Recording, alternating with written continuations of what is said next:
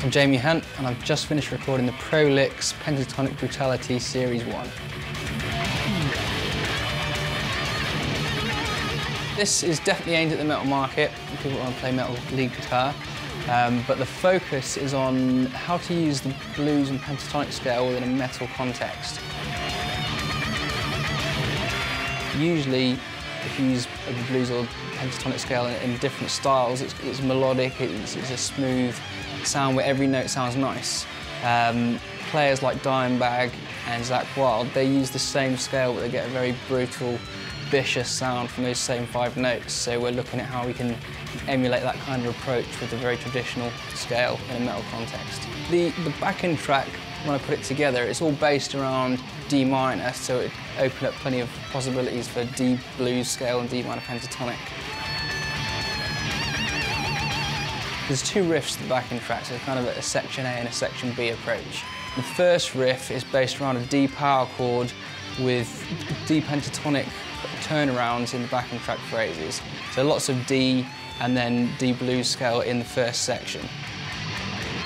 The second section moves around a, a more traditional chord sequence, but it's got accents uh, and different chords ringing for different durations, and it's got more of a, almost like a chorus feel to it. So you can contrast blues licks in the first section and kind of more melodic chord tone type playing in the second section so you can get almost like a verse chorus vibe from those two sections.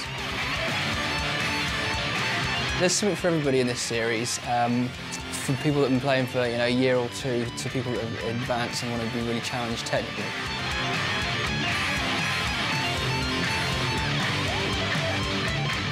In the first few solos, the emphasis is on um, taking a few notes and not really playing lots of notes, but making those notes have plenty of expression. So it'll be single notes, but it'll be how you attack the note, how much vibrato you put on the note. So the, the opening few solos, it, there's a focus, but it's a, a, a gradual build.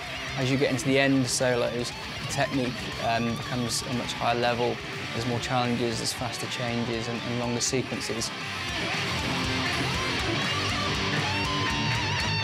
So um, whether you want to just make a few notes sound vicious or you want to play a, a lick that takes everybody's head off because it's a technical level that dazzles people, it's all there.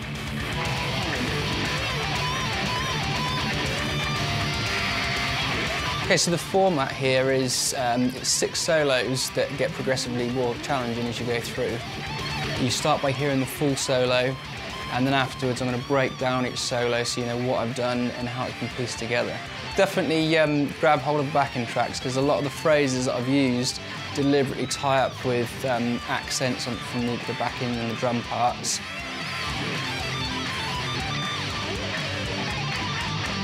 Within this series there's a full tone and gear section. Um, I've used very specific equipment with very specific settings to make it sound right for this genre. So I've gone through the guitar, the pedals, the any rack effects that are being used, settings on the amp, take my settings as a starting point and then tweak it so it's fine-tuned to your own setup. But yeah, I'll walk you through exactly what to do to get the right sound for, for this kind of metal. It's a lot of fun making this series, mainly because it was a chance for me to take the, the, elements that I think are important, the things that I've learnt along the way, and put them into, strategically place them into some of the solos so that I can pass on that information as and when the person receiving that lesson is ready to learn it.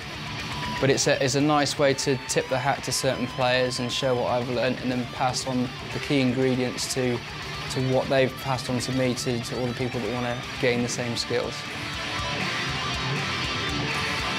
I'm Jamie Hunt. I hope you've enjoyed learning from this series. I've had a lot of fun making the series. If you want to play like a pro, you've got to learn from the pros. So check out all the products on promusictutor.com and I'll see you on the next series.